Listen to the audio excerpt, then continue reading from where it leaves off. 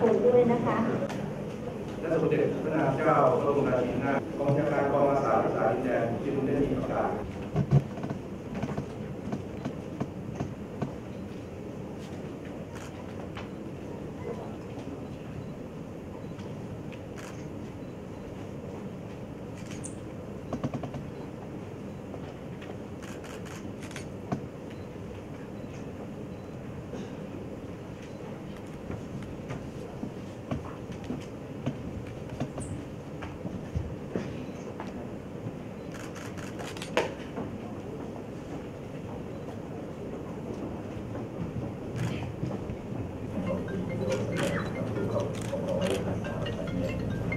ขอน้ ไฟ